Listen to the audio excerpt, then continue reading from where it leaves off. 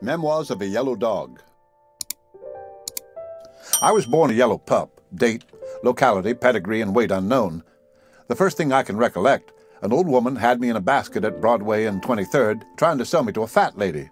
Old Mother Hubbard was boosting me to beat the band as a genuine Pomeranian, Hambletonian, Red Irish, Cochin, China, Stoke, Pogis, Fox Terrier. The fat lady chased a V around the samples of gros grain flannelette in her shopping bag till she cornered it and gave up. From that moment I was a pet, a mama's own wootsy squidlums. Say, gentle reader, did you ever have a 200-pound woman breathing a flavor of camembert cheese and Peau d'Espagne pick you up and wallop her nose all over you, remarking all the time in an Emma Eames tone of voice, "Oodlum, oodlum, doodlum, woodlum, toodlum, bitsy, witsy, snookledums"? From a pedigreed yellow pup, I grew up to be an anonymous yellow cur, looking like a cross between an Angora cat and a box of lemons. But my mistress never tumbled. She thought that the two primeval pups that Noah chased into the ark were but a collateral branch of my ancestors. It took two policemen to keep her from entering me at the Madison Square Garden for the Siberian Bloodhound Prize. I'll tell you about that flat. The house was the ordinary thing in New York, paved with Parian marble in the entrance hall and cobblestones above the first floor. Our flat was three, well, not flights, climbs up. My mistress rented it unfurnished and put in the regular things 1903 antique upholstered parlor set, oil chromo of geishas and a Harlem tea house, rubber plant and husband. By Sirius, there was a biped I felt sorry for. He was a little man with sandy hair and whiskers, a good deal like mine. Henpecked? Oh, well, toucans and flamingos and pelicans all had their bills in him. He wiped the dishes and listened to my mistress tell about the cheap, ragged things the lady with the squirrel skin coat on the second floor hung out on her line to dry. And every evening, while she was getting supper, she made him take me out on the end of a string for a walk. If men knew how women pass the time when they're alone, they'd never marry. Laura Lean Jibbey, peanut brittle, a little almond cream on the neck muscles, dishes unwashed, half an hour's talk with the Iceman, reading a package of old letters, a couple of pickles, and two bottles of malt extract, one hour peeking through a hole in the window shade into the flat across the air shaft. That's about all there is to it. Twenty minutes before time for him to come home from work, she straightens up the house, fixes a rat so it won't show, and gets out a lot of sewing for a ten-minute bluff. I led a dog's life in that flat. Most all day I lay there in my corner watching that fat woman kill time. I slept sometimes and had pipe dreams about being out chasing cats into basements and growling at old ladies with black mittens as a dog was intended to do. Then she'd pounce on me with a lot of that driveling poodle palaver and kiss me on the nose. But what could I do? A dog can't chew cloves. I began to feel sorry for hubby, dog my cats if I didn't. We looked so much alike that people noticed it when we went out. So we shook the streets that Morgan's cab drives down and took to climbing the piles of last December's snow on the streets where cheap people live.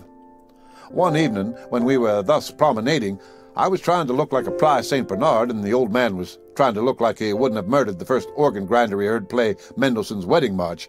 I looked up at him and said in my way, What are you looking so sour about, you oakum-trimmed lobster? If she don't kiss you, you don't have to sit on her lap and listen to talk that would make the book of a musical comedy sound like the maxims of Epictetus. You ought to be thankful you're not a dog. Brace up, Benedict, and bid the blues begone. The matrimonial mishap looked down at me with almost canine intelligence in his face. Why, doggy, says he, good doggy, you almost look like you could speak. What is it, doggy? Cats? Cats could speak. But of course he couldn't understand. Humans were denied the speech of animals, the only common ground of communication upon which dogs and men can get together is in fiction. In the flat across the hall from us lived a lady with a black and tan terrier. Her husband strung it and took it out every evening, but he always came home cheerful and whistling. One day I touched noses with the black and tan in the hall, and I struck him for an elucidation. See here, Wiggle and Skip, I says, you know that it ain't the nature of a real man to play dry nurse to a dog in public. I never saw one leashed to a bow wow yet that didn't look like he'd like to lick every other man that looked at him. But your boss comes in every day as perky and set up as an amateur prestidigitator doing the egg trick. How does he do it? Don't tell me he likes it. Him, says the black and tan. Why? He uses nature's own remedy. He gets splifficated. At first, when we go out, he's as shy as the man on the steamer who would rather play Pedro when they make them all jackpots.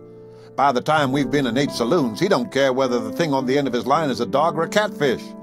I've lost two inches of my tail trying to sidestep those swinging doors. The pointer I got from that terrier, vaudeville, please copy, set me to thinking. One evening, about six o'clock, my mistress ordered him to get busy and do the ozone act for Lovey. I have concealed it until now, but that is what she called me. The black and tan was called Tweetness. I consider that. I have the bulge on him as far as you could chase a rabbit. Still, Lovey is something of a nomenclatural tin can on the tail of one's self-respect. At a quiet pace, on a safe street, I tightened the line of my custodian in front of an attractive, refined saloon. I made a dead-ahead scramble for the doors, whining like a dog in the press dispatches that let the family know that little Alice is bogged while gathering lilies in the brook. Why, darn my eyes, says the old man with a grin. Darn my eyes if the saffron-colored son of a seltzer lemonade ain't asking me in to take a drink. Let me see.